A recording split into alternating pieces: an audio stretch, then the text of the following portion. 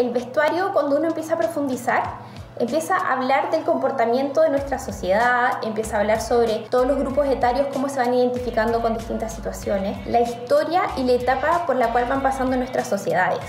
Y eso es gracias a todas las creaciones que hacen los diseñadores de vestuario.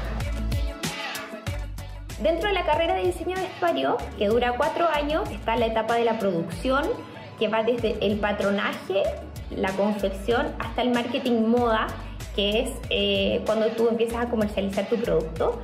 Pasas también por el diseño de producto, diseño de eh, colecciones, diseño de accesorios, también el reporte de tendencias. Y en esta parte uno siempre se ve ligado al trabajo con otras disciplinas, con sociólogos, psicólogos, arquitectos. El diseño de vestuario finalmente es una manera de mostrar y expresar quiénes somos, La metodología con que trabajamos en la carrera se llama ACBD, Aprendizaje Colaborativo Basado en Desafíos.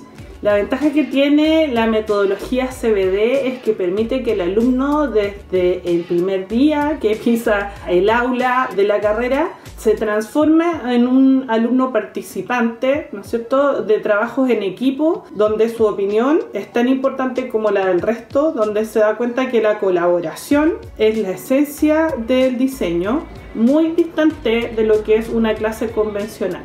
Y creo que es fundamental porque es la forma en que se trabaja en diseño.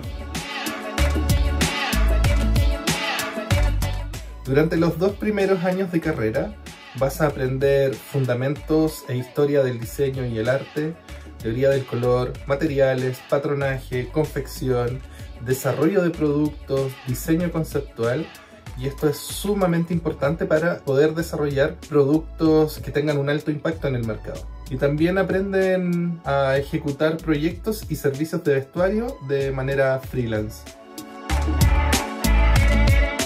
Desde el quinto semestre te propondremos desafíos en los cuales aprenderás a diseñar colecciones de indumentaria, a producirlas, a comunicarlas y a comercializarlas en el mercado local y global. Los optativos te dan la opción de poder profundizar y también de explorar áreas del diseño en las cuales no has vivido y te ayuda un poquito a buscar y explorar esta identidad profesional que todos buscamos como diseñador.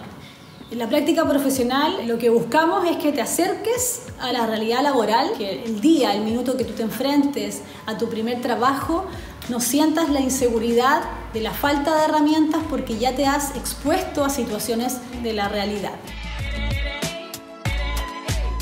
Una vez titulado, podemos por una parte formar nuestra propia empresa con los conocimientos que tenemos de nuestra carrera, así como también podemos integrarnos a departamentos de diseño, talleres, fábricas especialistas de vestuario, como por supuesto departamentos comerciales que están relacionados con la moda.